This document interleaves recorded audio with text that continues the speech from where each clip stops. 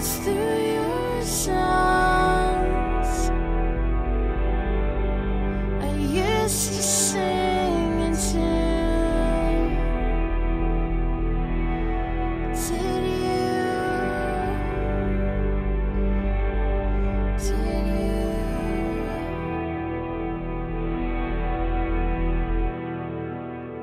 When I was a child, I prayed, and he felt like new wine fermenting inside of old age. I know that might not make sense, but he was a decade removed from all of his accomplishments, and he still had the eyes of a dreamer, and no one worshipped him as a demigod.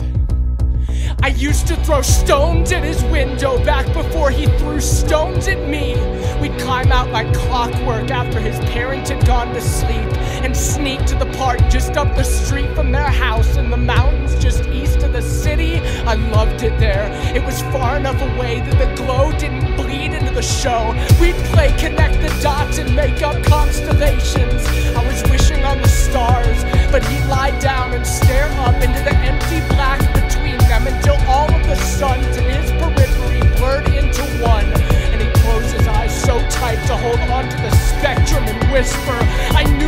Knew that there was something more than black and white out there. Don't leave me! I know exactly how a window screen sounds popped out from its hinges. I used to be the one that you snuck out for. When we were younger, I used to wonder what I'd do if I ever heard the sounds of the bed springs blending into the creaking of the frame, bending, blending into feet against the stucco, searching for the ground, and now I know.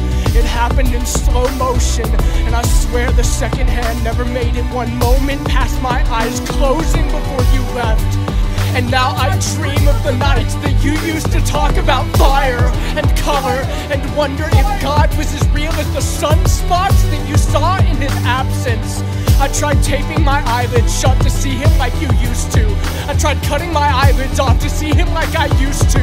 I stitched the skin to skin to salvage whatever was left and then searched the sky for signs of life. Like there wasn't blood flowing into the vision. Is freedom abandonment?